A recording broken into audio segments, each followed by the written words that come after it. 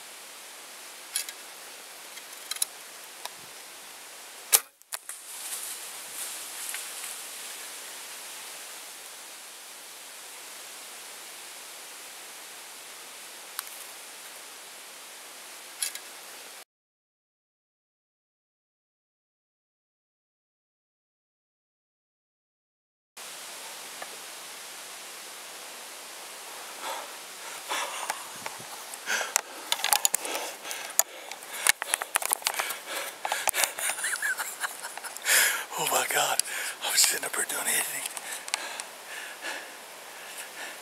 I was sitting up here doing my editing. And I was about ready to quit. And I turned around and looked, and there's a door right behind me.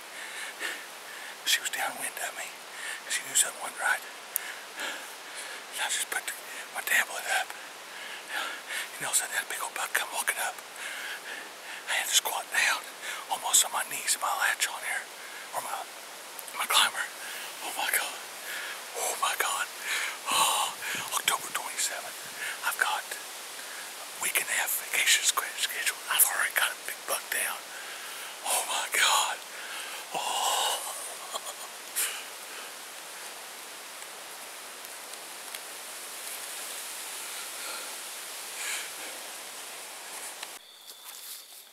Well, just got him out of the woods. It was pretty hilly country where I shot him at, and he went straight to the bottom like they always do. So my son, Jacob Stevens, I had to get him, and we had about 150 foot of rope, and we pulled and winched, and finally got him out. This is the end result right here. My biggest deer to date with the Bowtech RPM 360 Rage Gold Tip Airs.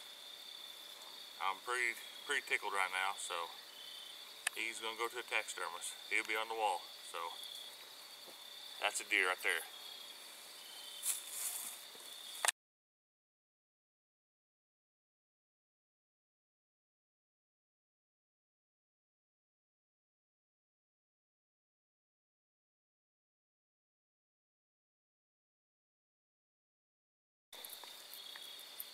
Well, it was getting dark last. Tonight. It's getting dark tonight. Don't forget to follow us on Facebook and getting him out. Instagram. And also a special I'm thanks to our checking your damn sponsors, Gary Jones's Catering Service, Scott's Taxidermy, and look for all your JSD merchandise at Destiny's Clothing Store in Cassville, Missouri. Please out apparel. well, it was getting